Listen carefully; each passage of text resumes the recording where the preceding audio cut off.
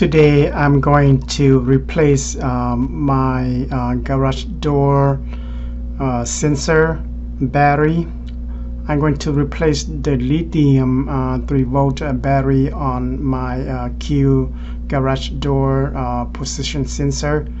Since I get a, a, message on my cell phone on the app, on the myQ app on my phone saying that my battery is low. So um, I have been doing some research and found out that I need to change the battery on this MyQ sensor door sensor. So let's stay tuned and see how I did it. So I'm making this video for you so you know what to do in the event you see the message on your garage door app. Okay um, here is the tools that you're going to need it to replace the battery so first thing, uh, it is a small Phillips screwdriver or a Q-tip. Either way, it's up to you how you want it.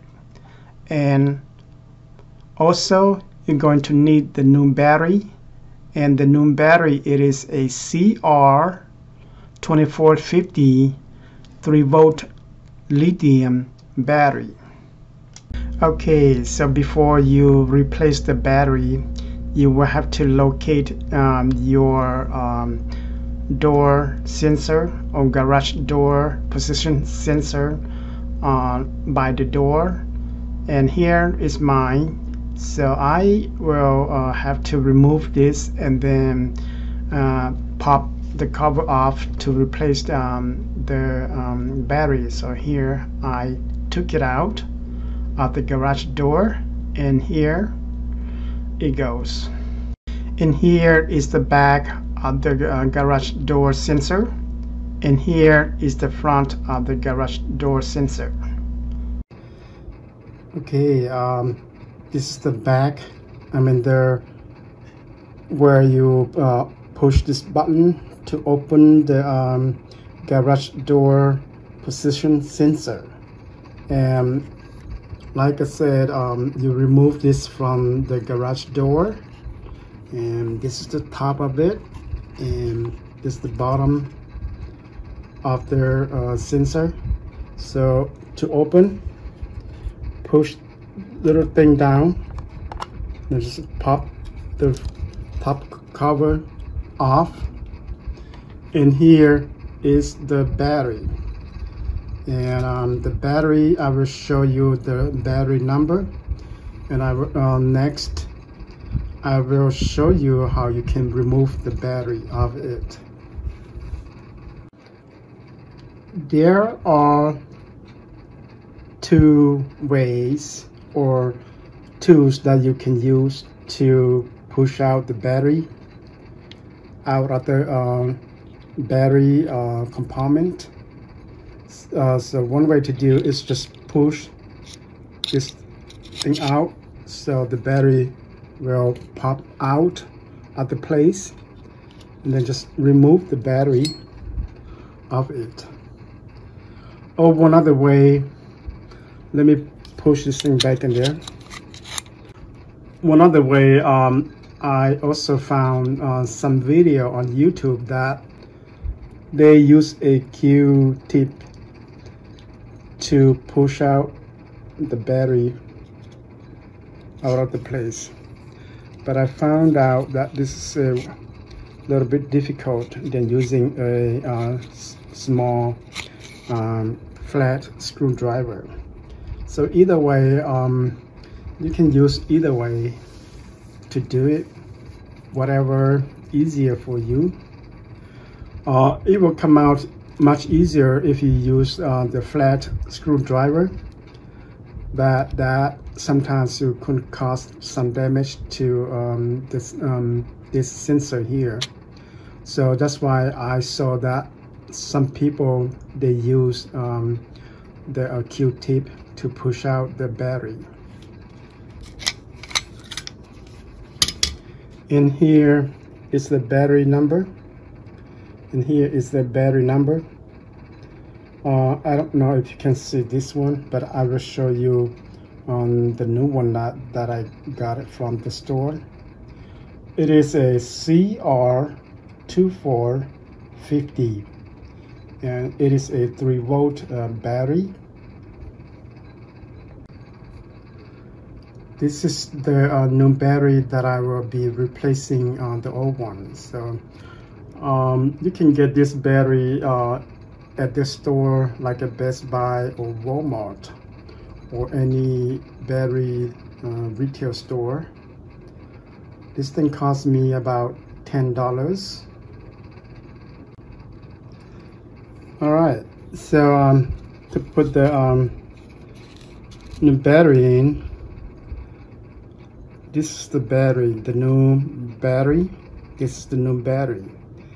And make sure the positive sign, the positive side is on top.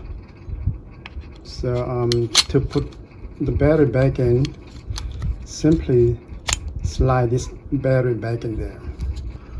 Put the um, sensor cover back on. And like I said, um, make sure the sign say top. Is on the top right there. And as you can see, the letter, the letter, myQ is facing up like this. And then just outline this together like that. Outline this together. At the bottom make sure everything's outlined.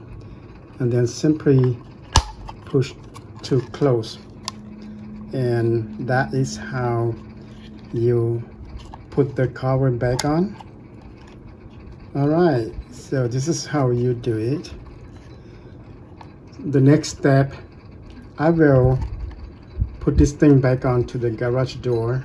So let's stay tuned and let's see how I put it back in there. All right, it's time to put this thing back onto the garage door. And one more thing to uh, check before you put it back on. Make sure the word say top is on the top. And the letter myQ is uh, standing uh, like this. And this is how you can tell the top should go to the top. And once again, the word top should be on the top. To put it back on, simply uh, stick this thing back to the garage door to ensure it does not fall off the garage door. Make sure it stick firmly to the Velcro on the garage door. Next, I will check my cell phone, the app, the MyQ app on my cell phone to see if it show um, no more message about the low battery. So let's stay tuned and let's take a look at my cell phone. Okay, um, now let's check to see if um, the MyQ uh, app on my cell phone show no more uh, low battery. So let's just open it up. It's loading now. Okay, now it is showing no more message about the low battery. So that fix it the message. Now my garage door should be opening uh, normally. Okay now it's time to try the garage door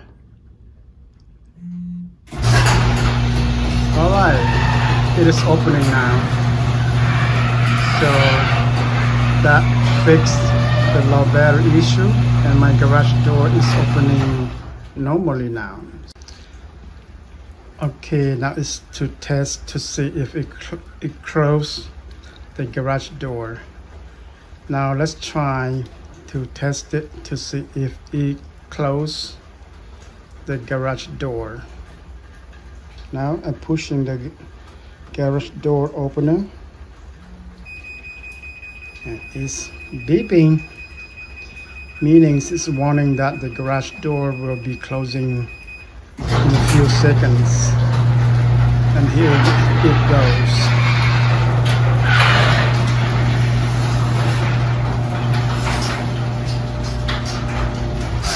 all right job well done.